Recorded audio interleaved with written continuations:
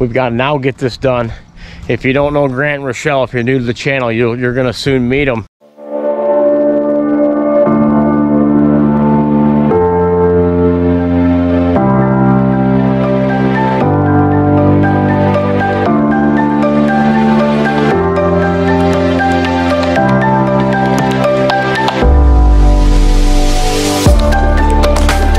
Hey guys, welcome back to the channel. Hey, do me a favor, hit that thumbs up, subscribe to the channel. Going for 25,000 subscribers. We're right there. We're gonna get it probably today. Appreciate it. Hey, Milk House project complete. Long overdue video. Let's head inside, check it out.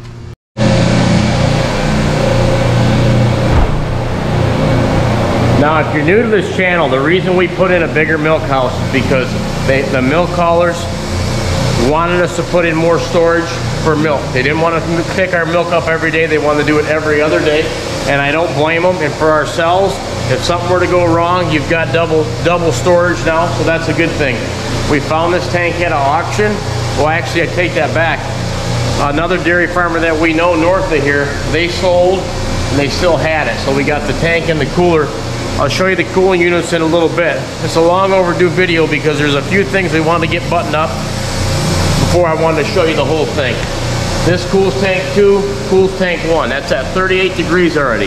That's this one. This is from yesterday. This tank's full. The milk hauler will be here today, and that's at 52. It's cooling as the milk's coming in. So this is big. You can see what's new. Uh, the old milk house was small, small ceiling. And, and you know, when we did this, we decided to make it bigger, taller, more, more ventilation, bay window out of the house. Got to get back in here, let's milk, and we'll continue.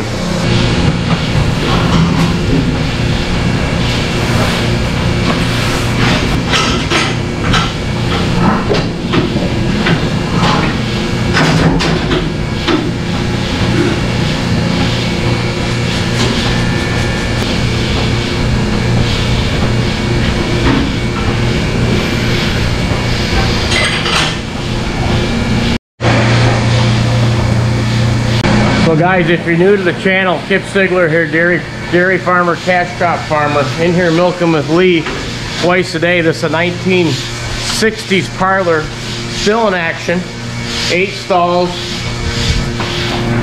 Each one can, can release on its own. There's three exit ramps. They come in on the end. If you're wondering about the paper, I get this question a lot. It helps up, sop up the manure, the poop. I mean, look at that. Prime example and you wad it up and you push it out and it gets spread out on the field. And we do that to help the paper company because sometimes they print too many and you recycle them for them. Oh no, by the way, they own Woods and Waters. I'm sure you've seen that. You get some of them in here, you rip it off, you throw it down there, and everybody's happy.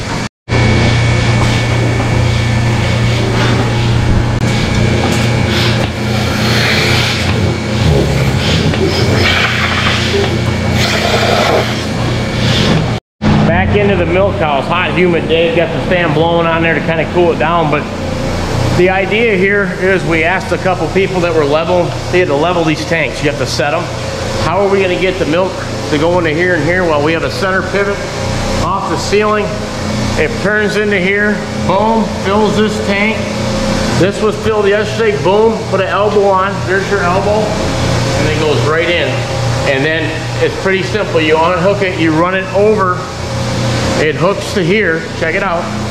It hooks to here, and then that'll complete your wash cycle. This whole thing, each tank will wash, because that's very important with milk. You know how stinky milk can get. The bigger milk house, we've got the wash hoses to keep these washed, and our, our detergent and our acid to keep these things sanitized. So that's the biggest thing. Another thing I wanted to show you, you've probably seen on the picture, granite.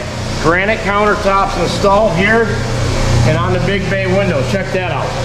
Guys, I don't even have granite in my house. Long story short, we had some guys from the city own a granite tile company. They'll remodel your whole house if you want. They stopped in, they said, hey, we'd like to shoot geese. I say, oh, you do? Okay, that's cool. We don't like geese very much anyway. They're just constantly in our fields. They said, if you let us hunt some geese, we'll put granite in your houses. like granite in our houses. So dad did that. The next year, my other brother got it done. I don't have granite in my house. I have not, not gotten it done yet. But long story short, they says, hey, I see you on, they're, they're watching the YouTube. I said, great. They said, hey, how about we put granite in your milk house? Should be the only place with granite in your milk, milk house. Because this was just wrapped in aluminum, and it was. It was going to get beat up a little bit here and there. Well, now, that's hard as a rock because it is a rock.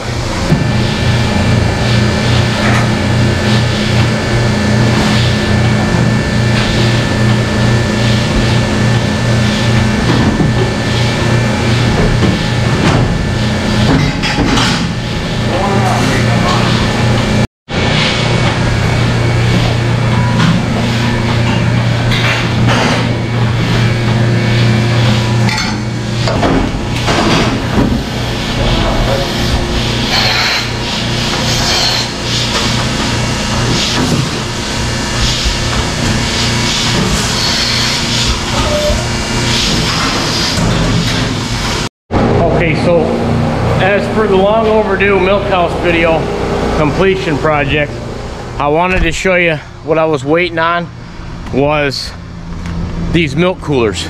We had them sitting here. They're tied in through the wall. Now these are what keep the milk cold. Tank one, tank two. Remember that hailstorm? Look at this one.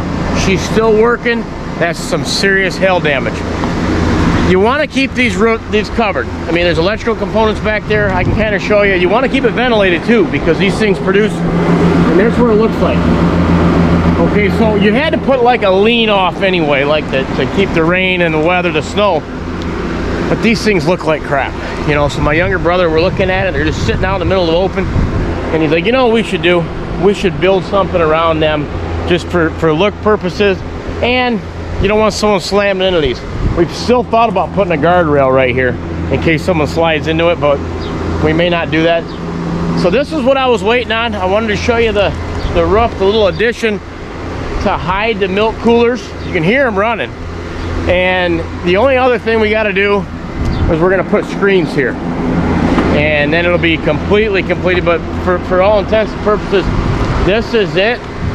If you look back, I'll put this in a playlist, the beginning of the milk house. It was a lean-to off of here. We've uh, we've come a long way with this. Completely spray foamed, and we went we went pretty uh, the whole nine yards. I mean, we we we got some steel to finish. Some of the finished stuff we got given to us, so we used it. But all in all, this is it, and uh, we're pretty proud of it. I'll tell you that the way it came together. So uh, I think we're gonna be milking cows for a little while longer.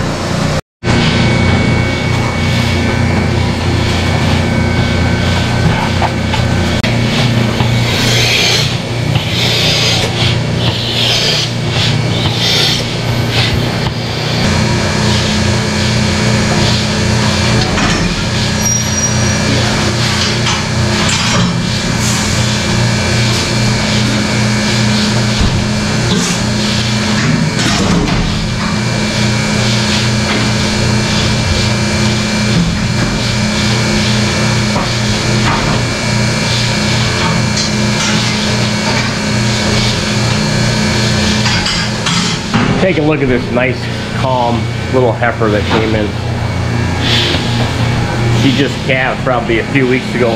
So, okay, so what we're waiting on now is my two brothers to get here. One of them is gonna start feeding the calves and the other one is gonna take over for me and finish milking. This happens every day, it's part of the routine. He'll take over and then we'll go out, scrape up the manure, and feed the cows.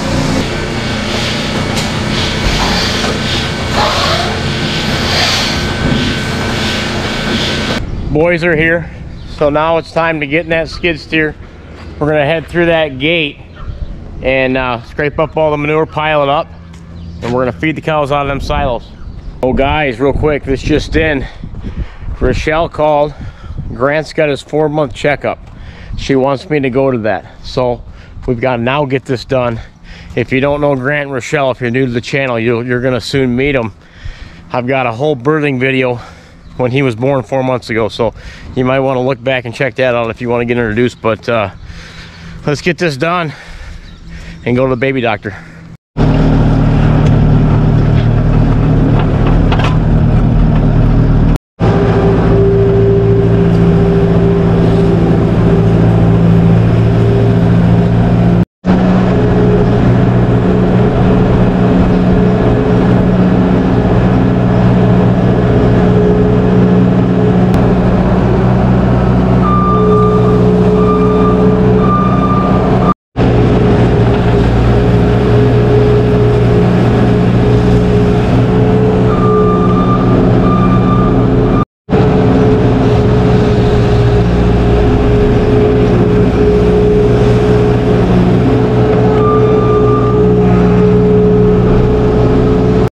Okay, and that's what I'll do here.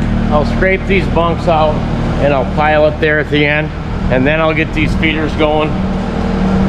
Biggest thing is just to get it rolling because it takes time to feed these, to fill these up and then and it's in the morning so the cows are hungry. You get them milk and you want them to hit these feed bunks as soon as possible.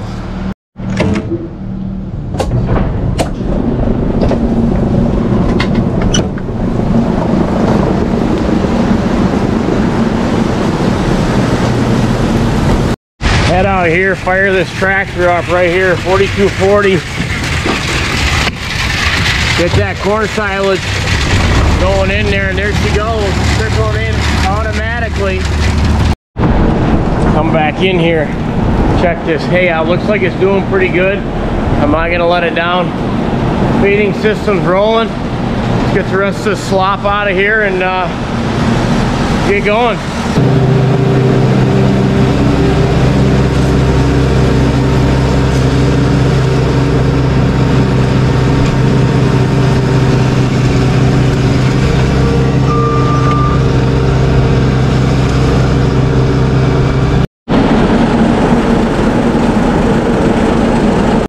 Now we're starting to get it cleaned up. Let's check in on this bunk. Easy girl. Cows are lining right up.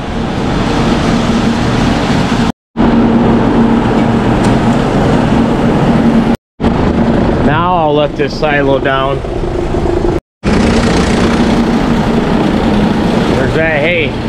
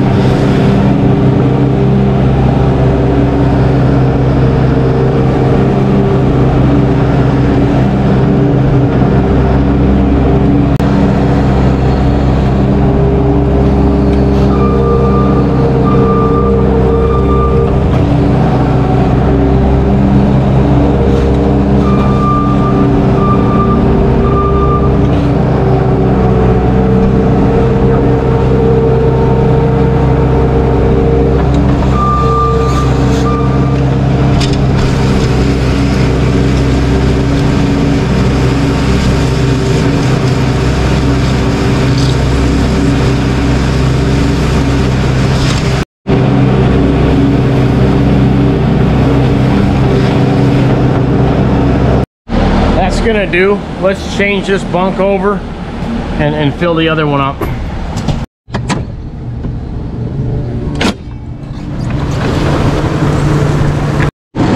Turn that hay off, come in here, put this slide in.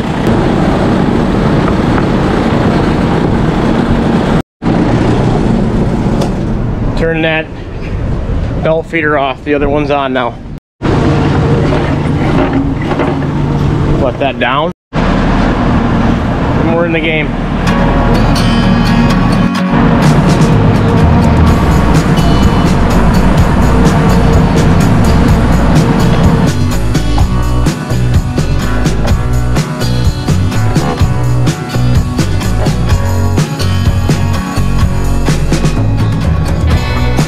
It's so humid out that this belt feeder it runs on a cable and that cable is, is sweating.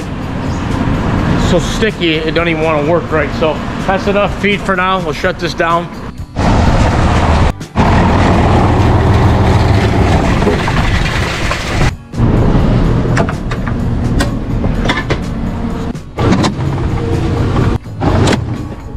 Just like that they're fed for right now. Dad back the spreader in. We're gonna load him up. A lot of slop because of the humidity.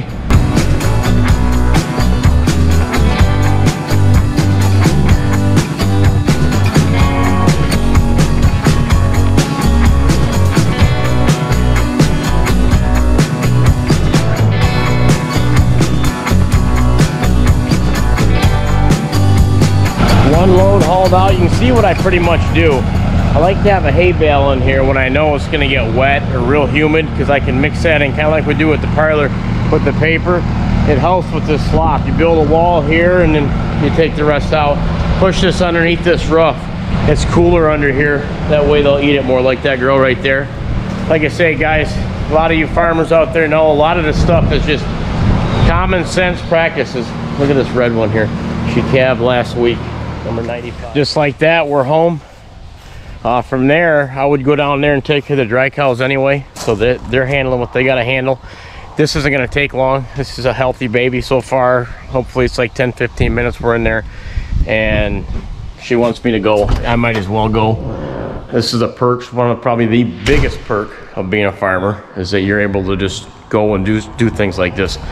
You're a fool not to utilize the perks. Honey, I'm home. I'll probably just change my shirt and wash up a little bit. How you doing today? Want to get a peek at Grant? You ready for your appointment, bud?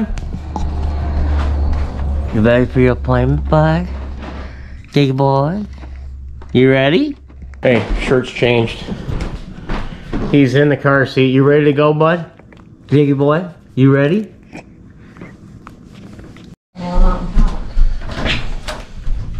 Ready, bud? Hmm? Here you go, bud. Good?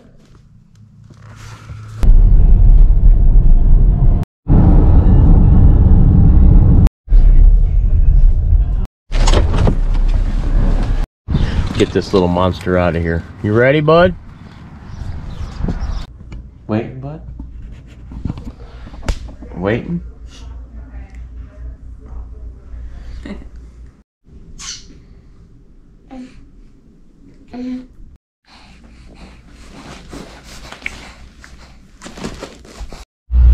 Okay, and he's back in.